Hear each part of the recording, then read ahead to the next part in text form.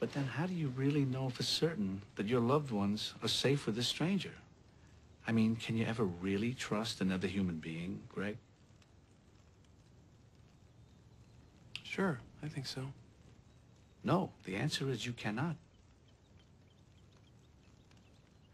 Let me show you We start the program with an update on the troubled Fukushima Daiichi nuclear power plant. On Saturday afternoon, the operator of the plant began to remove hydrogen that is built up in pipes connected to the number one reactor.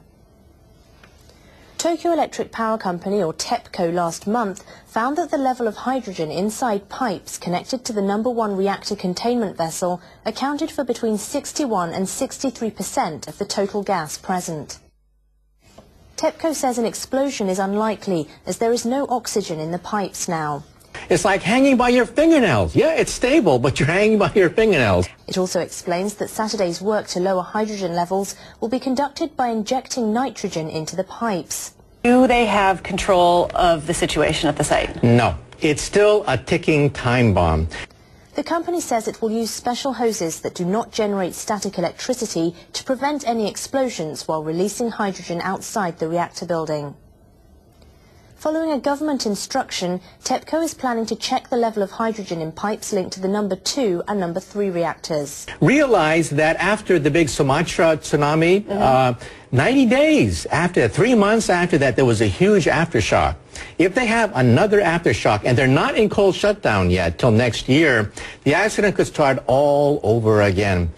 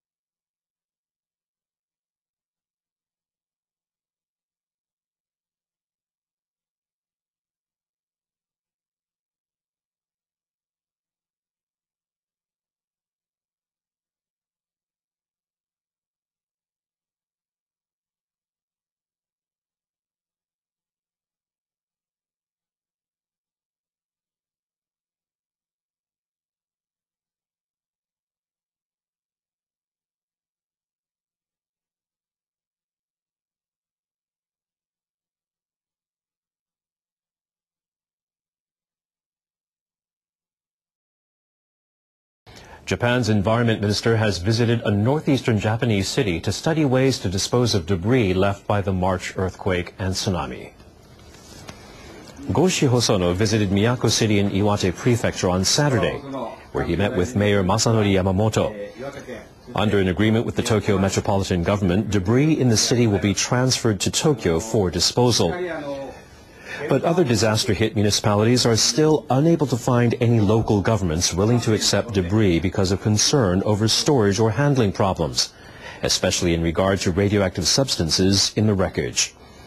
Hosono told Mayor Yamamoto that the central government views the clearing of disaster-hit areas as a top priority for reconstruction. Miyako City is the first place to find somewhere to transport debris. I will do all I can to support other cities to find disposal sites. Hosono visited a temporary storage site where he was briefed on a plan to transfer 500,000 tons of debris from Iwate Prefecture to destinations outside the prefecture.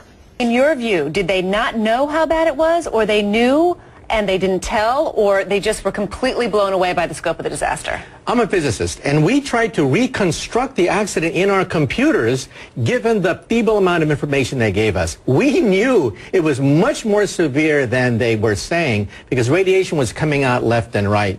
So, in other words, they lied to us. The United States has eased its evacuation advisory for U.S. citizens in Japan regarding the Fukushima Daiichi plant. The State Department advised U.S. citizens on Friday to stay more than 20 kilometers away from the plant, in line with a no-entry zone set by the Japanese government. The previous U.S. advisory recommended avoiding areas within 80 kilometers of the plant. The US alert also includes some areas and spots outside the 20-kilometer no-entry zone as the Japanese government has advised residents there to evacuate. But the State Department warned pregnant women, children and older people not to stay within 30 kilometers of the plant. The State Department says it updated the advisory based on additional data released by the Japanese government. Americans think this crisis is over, or that some even think that maybe it's solved or it's contained. It's, it's not. What's happening right now? In the last two weeks, everything we knew about that accident has been turned upside down. We were told three partial meltdowns, don't worry about it. Now we know it was 100% core melt in all three reactors. Radiation, minimal that was released. Now we know it was comparable to the radiation at Chernobyl. And as far as evacuation, yeah, 12 miles, that's it. You don't have to evacuate beyond 12 miles. Now they find hotspots, four hotspots outside the evacuation zone. 34,000 school children now have radiation badges when they go to school. Kindergartners with radiation Down to four badges. years of age. Can you imagine that? Kindergarten kids with radiation badges. Japanese government insiders reveal Fukushima secrets. This is behind the headlines on Global Research TV at grtv.ca. The former Prime Minister of Japan has revealed that scientific advisors to the Japanese government warned that evacuations of as many as 30 million people up to 250 kilometers away from Fukushima would have to take place in the event of a worst-case scenario at the stricken nuclear plant in the country's northeast. The proposal would have seen Tokyo itself subject to evacuation, but the idea was immediately rejected because of the chaos it would have caused. The revelations come as Naoto Kan, who stepped down as prime minister last month, finally opened up about the deliberations that took place in the wake of Japan's nuclear disaster. In a tense interview with Kyodo News, Kan admitted that the proposal to evacuate Tokyo was a crucial moment when I wasn't sure whether Japan could continue to function as a state. Just last week, another government insider, Kenichi Matsumoto, confirmed the plans for Tokyo's evacuation and other details of the government's response to the crisis to Radio Australia. In the interview, Matsumoto, former advisor to Prime Minister Kan, revealed that TEPCO not only hid information from the government, but that in the wake of the disaster, they suggested abandoning the plant altogether. First, TEPCO did not convey accurate information about the accident to the Prime Minister. It tried to make the disaster look small. Then TEPCO's headquarters wanted to evacuate the nuclear plant, but the chief of the facility vowed not to leave. So Prime Minister Kan was outraged because he wasn't getting proper information or the truth. Earlier this year, Toshizo Kosako, an advisor to the government on radiation safety, resigned his position in protest of radiation exposure levels for elementary schools that he said were inexcusable. Meanwhile, authorities in Kashiwa City, Chiba Prefecture, have announced that they will have to shut down garbage incineration plants that were being used to burn radioactive materials. The plants discovered incinerated ash to contain as much as 70,800 becquerels of radioactive cesium per kilogram, almost 10 times the national landfill level of 8,000 becquerels per kilogram. The Nembu Clean Center in Kashiwa has already stored 134 tons of incinerated ash and is running out of space to accommodate the radioactive materials. Goshi Hosono, the minister in charge of the nuclear crisis, announced last week that the government is ready to lift evacuation advisories for five towns near the Fukushima plant. The towns, in the so-called emergency evacuation preparedness zone between 20 and 30 kilometers from the plant, are home to 30,000 people and were under a voluntary evacuation order, which will now be lifted, allowing residents to return to their homes once they've been decontaminated.